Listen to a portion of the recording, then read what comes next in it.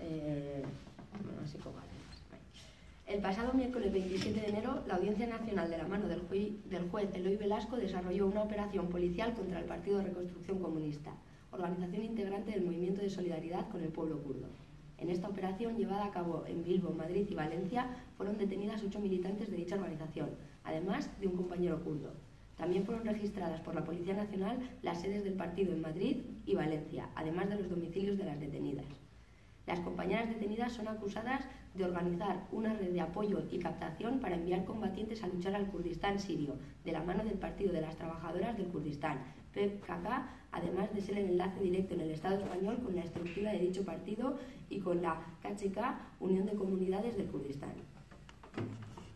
Operazio honen ondorio zuzena, erakunde komunistaren bi militanteen eta lagun kurduaren gartzelaratza izan da. Horietako bik, amasei mila eurotako finantzarekin. Hirugarrena, rekonstruzion komunistaren idazkari nagusiari fiantzarik eta baldintzarik gabeko espetxe zigorra esarri diote. Bestalde, Partido Marxista-Leninista, rekonstruzion komunistaren jarduera politikoaren urtebeteko debekua esarri dute, antolakuntza eta ekintza politikoen oinarrizko eskubide demokratikoen aurkako atentatu delarik. Sareka dau burutzeko, estatuak erabilituen aitzakiak funtsari gabekoak dira erabat. Rekonstrukzion komunistak ez du inoiz eskutatu herrikurduaren elkartasun aktiboa praktikatzen duela, batez ere Rojavako irautza demokratikoaren alde eta ISIS, Daesh, mustro imperialistaren aurkakoa.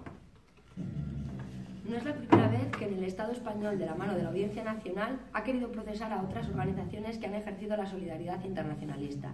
Y por mucho que el Estado despliegue su aparato represivo, persiga y pretenda condenar a la solidaridad internacionalista, esta lucha seguirá adelante, fortaleciéndose si cabe todavía más. Por otro lado, mientras el imperialismo en su fase de descomposición pretende dar sus últimos coletazos a base de invadir y saquear los recursos y riquezas de otros pueblos, generando guerras de rapiña como es el caso de Siria, se encargan paralelamente de difundir en los medios de comunicación acólitos del régimen la legitimidad de su locura belicista, que arrastra a la, a la destrucción y la muerte de la clase trabajadora y los pueblos a nivel internacional.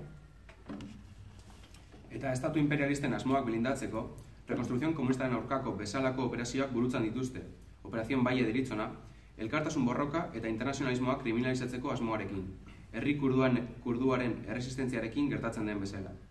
Turkiako herrikurduaren aurkako errepresio basatia salatzen dugu. Eundaka erail, poliziak eta ejerzituak setiatutako hiriak, alkate, sinegotzi, kasetari eta abokatuen atxiloketak eta erailketak. Erdoganen gobernua fasistatzat salatzen dugu, milaka eta milaka refusiatuk pairatzen duten egoera jasan ezinaren erantzulea delarik, baita Europako batasunaren gobernuen konplizitatea ere salatzen dugu.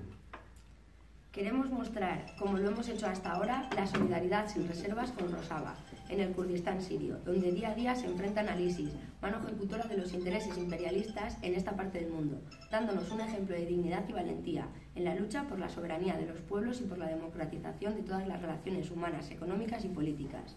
Es la solidaridad internacionalista la que ataca la raíz del conflicto, que no es otro que un conflicto de carácter político y de clase, mientras que la intervención de las potencias imperialistas en la región esconden sus verdaderos intereses políticos y económicos, engañando al pueblo a través de los medios de comunicación que no hacen otra cosa que respaldar la política de, la, de guerra de los estados. Estatuaren aparatu errepresiboaren erasoak haren aurka antolatzen den langile klasea geldirik mantentzeko asmoa du. Herri mugimendua, erakunde politiko eta eta elkartasun internazionalista bere jomugan jarriz. Estatuaren izaera antidemokratikoa argi eta garbi plazaratuz. Hau guztia dela eta, Bilboko herri mugimenduak, ostegunean, Unamuno plazatik arratsaldeko sortziretan abiatuko den manifestazioan parte hartzeko deialdia lusatzen dizue. Atxilotuak askatu. Internazionalismoa ez da delitua. Rekonstrukzion komunista aurrera.